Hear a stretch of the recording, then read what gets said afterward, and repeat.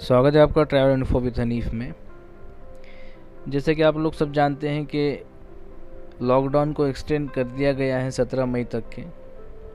और उसी के तहत इंडियन रेलवेज़ ने कुछ स्पेशल ट्रेनों की चलाने की सूचना जारी की थी।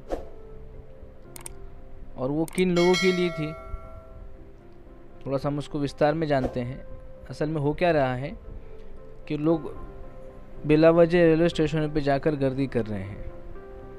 हालाँकि ये बात जान लेना चाहिए कि ये जो ट्रेनें शुरू की गई हैं, श्रमिक स्पेशल ट्रेनें जो हैं, ये सिर्फ़ उन लोगों के लिए हैं जिन लोगों को राज्य सरकार के अनुरोध पर यात्रा करने की अनुमति रहेगी।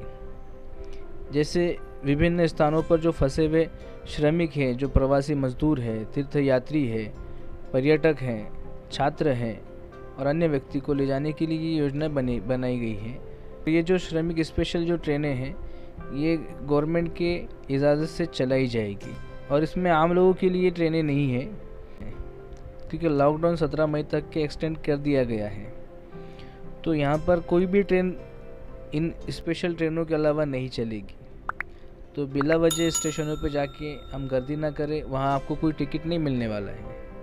ये ट्रेनें सिर्फ़ उन लोगों के लिए हैं जो फंसे हुए हैं, जिनको अपने घर जाना है। ऐसे लोगों के लिए ये गवर्नमेंट की तरफ़ से, स्टेट गवर्नमेंट के रिक्वेस्ट के ऊपर ये ट्रेनें चलाई जा रही है।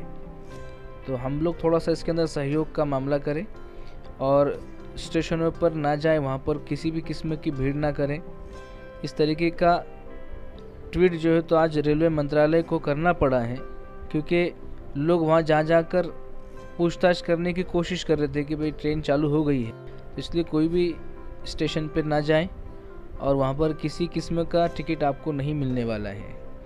और जो लोग फंसे हुए हैं, श्रमिक हैं, प्रवासी मजदूर हैं, वो इन श्रमिक स्पेशल ट्रेन के अंदर अगर सफ़र करना चाहते हैं तो वो स्टेट गवर्नमेंट से कांटेक्ट करें। उनसे कांटेक्ट करने के बाद ही आपको रेल में बैठने की इजाज़त होगी। तो आशा करता हूँ दोस्तों ये छोटा सा अपडेट था। सोचा आपको बताता चलूँ।